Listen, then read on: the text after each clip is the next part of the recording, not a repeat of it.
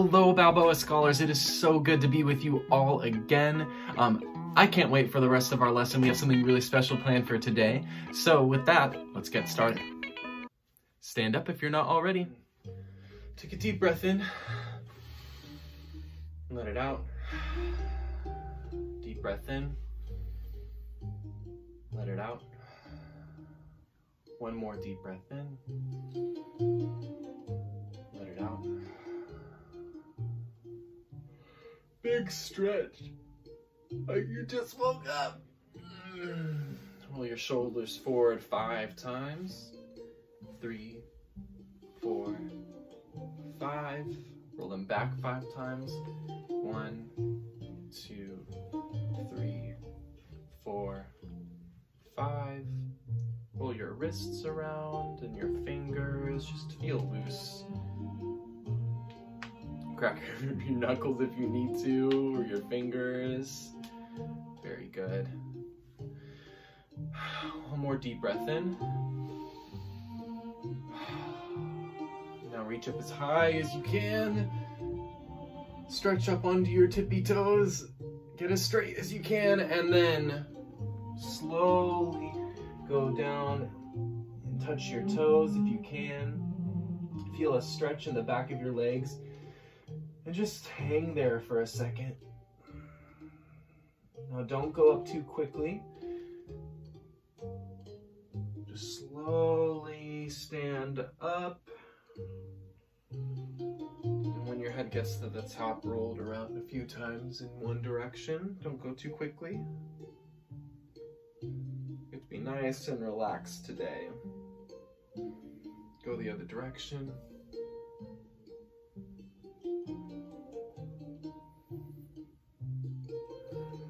More deep breath in. And then out. One, two, three, four, five, six, seven, eight. One, two, three, four, five, six, seven, eight. One, two, three, four, five, six, seven, eight. One, two, three, four, five, six, seven, eight. One, two, three, four, five, six, seven. One, two, three, four, five, six, seven. One, two, four, five, six, seven. One, two, three, four, five, six, seven. One, two, three, four, five, six. One, two, three, four, five, six. One, two, three, four, five, six. One, two, three, four, five, six. One, two, three, five. One, two, three, four, five. One, two, three, four, five. Two, three, four, five. One, two, three, four. One, two, three, four. One, two, three, four. One, two, three, four. One, two, three, one, two, three, one, two, three, one, two, three, one, two, one, two, one, two, one, two, one, one, one, one, zero.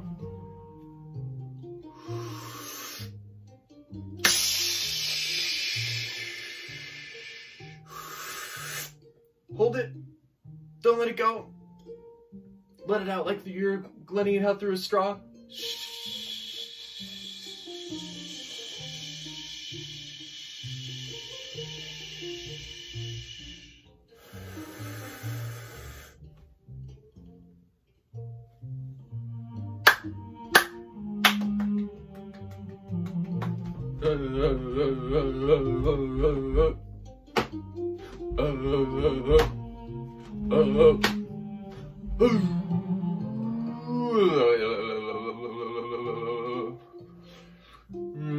Massage your jaw for a little bit.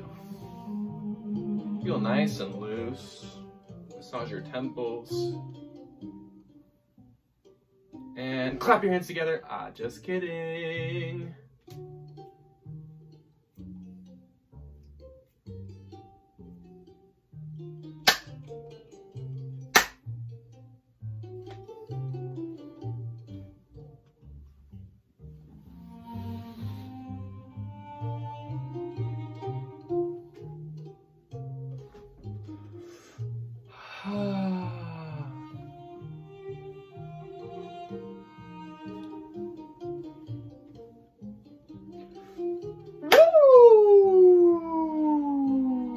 Together. Woo! And shh, shh, shh. Hee, hee, hee. Ha, ha, ha. and with that, please take a seat. Now, moving on to Zumba rhythm.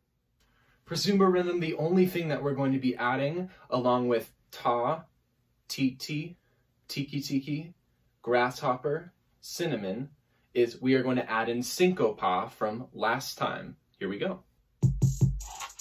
as we can see, our first rhythm will be syncopa. So if this is our beat, it's gonna sound like this. Syncopa. Ready, go. Syncopa, ti ti ta. Syncopa, ti ti ta. Tiki tiki ti ti. Syncopa, tiki tiki ti ti. Syncopa.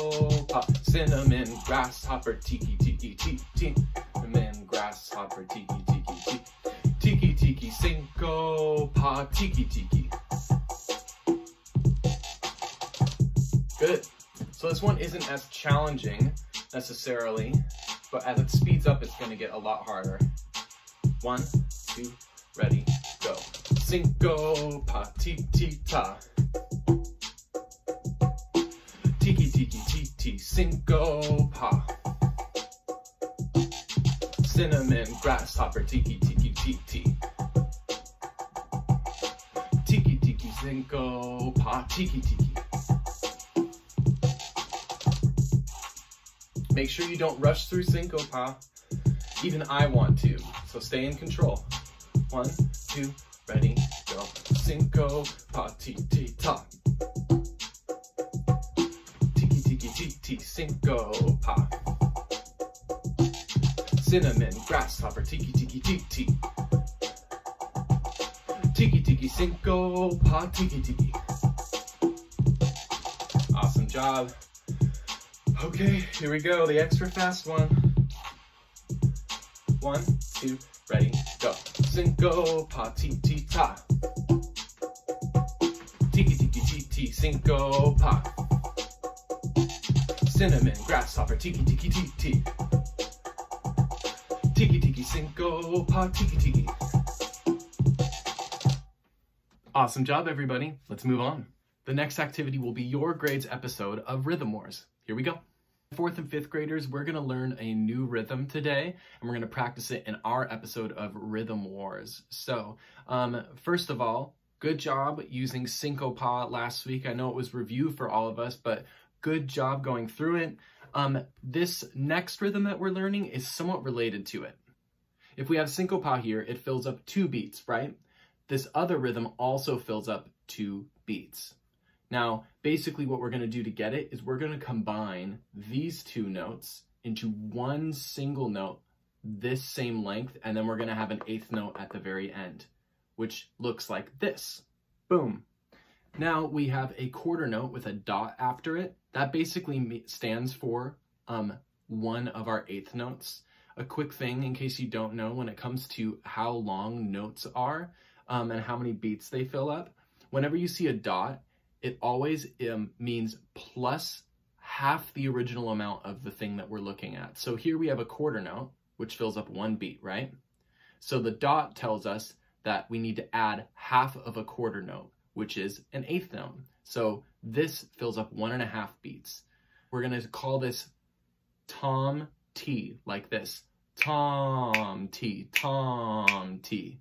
And you'll realize that the T in Tom T is the same spot that we have pa in syncopa. All we have to do is just hold out the word or syllable tom.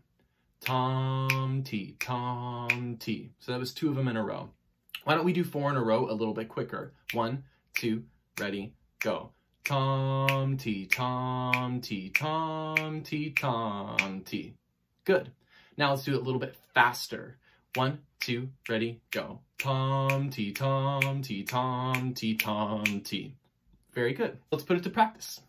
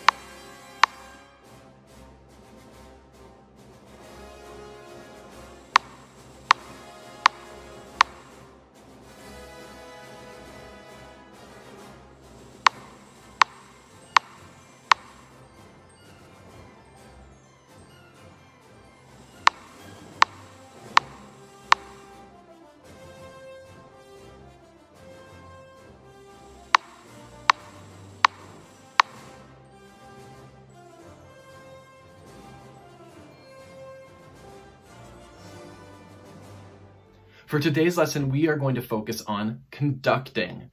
In just a few moments, I'm going to show you a video that's a really good introduction and review to who a conductor is, what their job is, and how do they do it.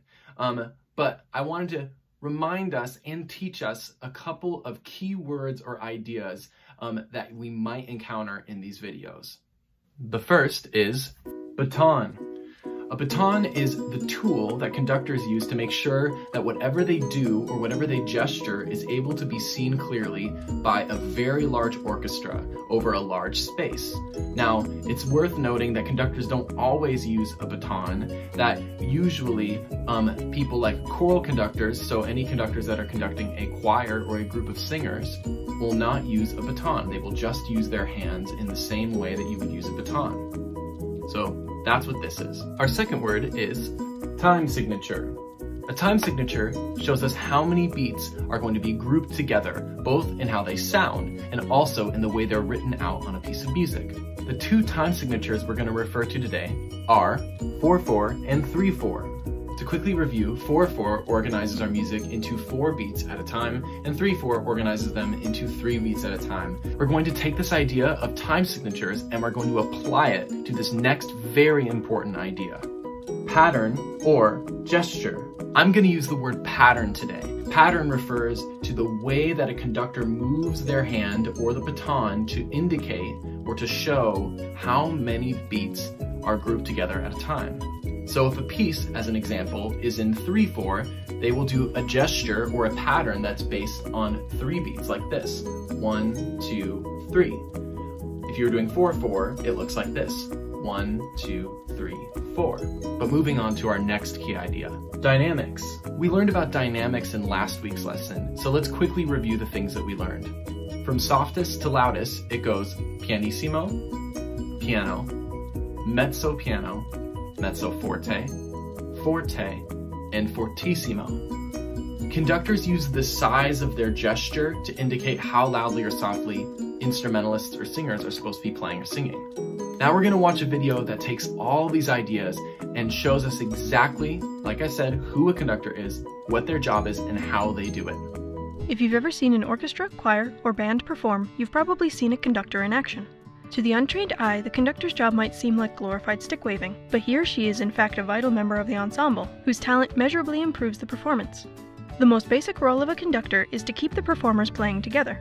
A musical piece is divided into measures, each with a specified number of beats. Beats are evenly spaced pulses in the music, and the conductor will demonstrate when these beats should occur with hand gestures. These hand gestures might be emphasized with a baton, but many conductors choose to use only their hands, in an effort to provide more expressiveness. While conductors can technically signal beats with whatever gestures they would like, there are some basic patterns that have become standard. For example, if a piece of music has three beats in each measure, this pattern is often used. Within this pattern, each beat has an ictus, or a precise moment that signals when the beat should occur.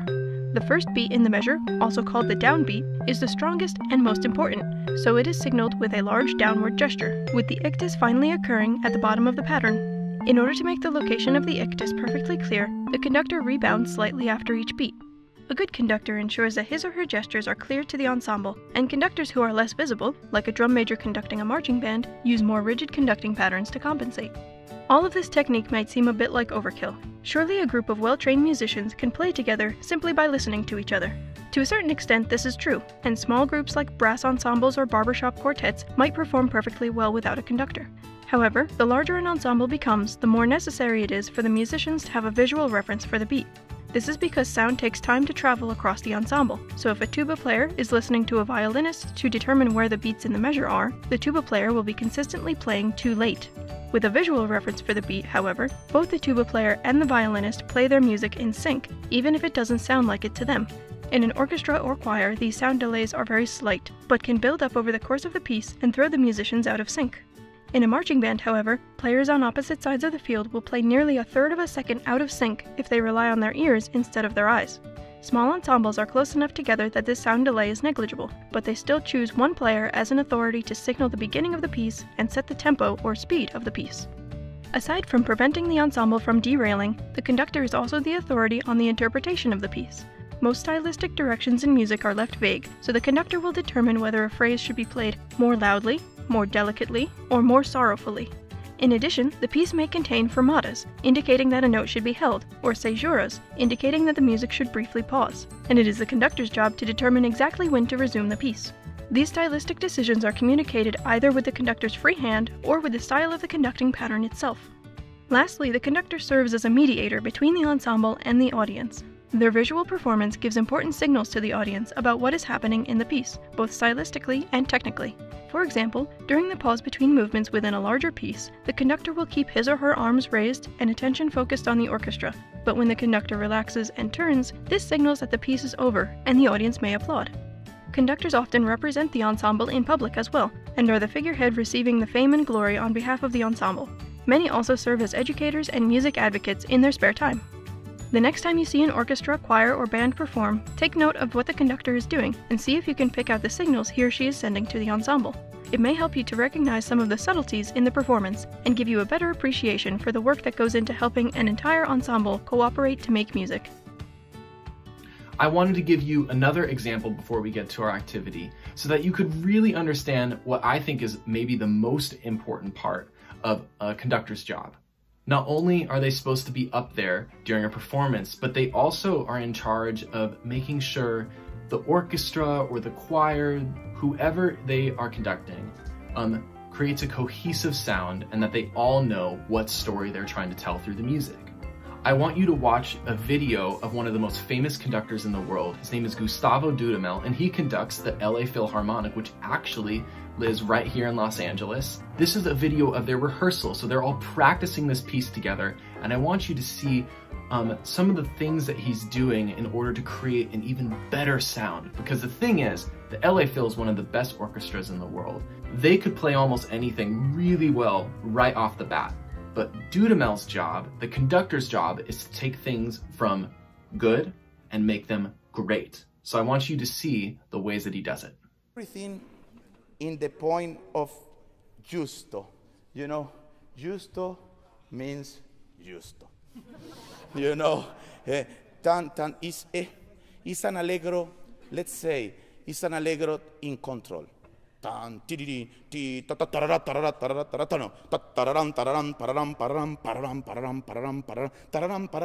I think that keep more this dramatic feeling holding the tempo.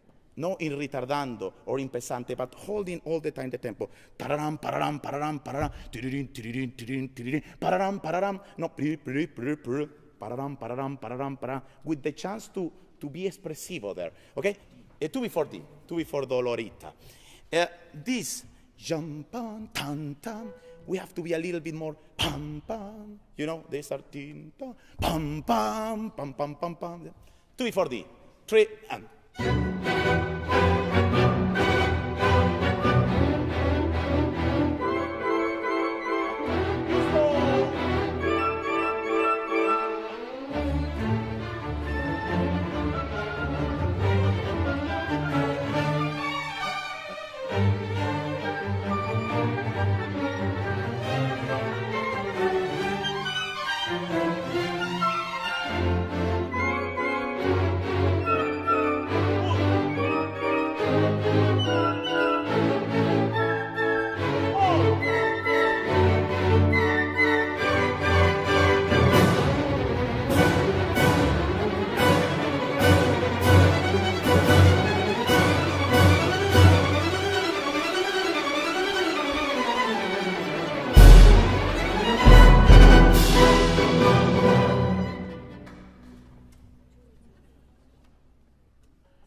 Famire dorero pararam pan from the second beat, second sixteen.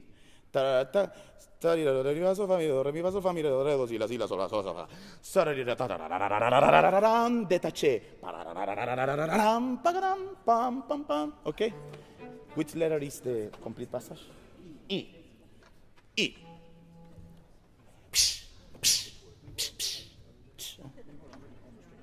Yes, exactly. More bow. Let's say.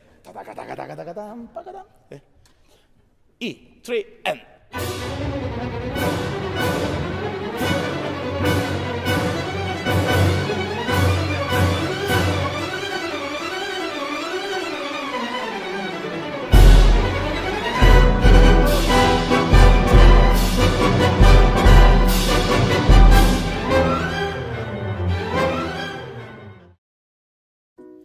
You guys found that really cool. I love that part in the end when all of a sudden the strings play that part exactly the way that he wanted them to, and it added this extra element, this extra excitement to the music, which was really cool.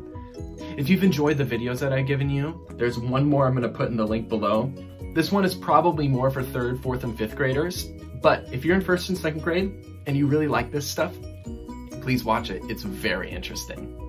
The link is below in the description of the video. Okay, we've talked too much and you guys have listened to a lot of things. So we're going to continue talking about conducting and practicing it ourselves in next week's video. I wanted to split things up just because we had so much to cover. So with that, stay tuned for next week and our very exciting activity. I'm super, super stoked to be able to do it with you guys. With that, have a wonderful week and I miss you all so much. Take care. Bye guys.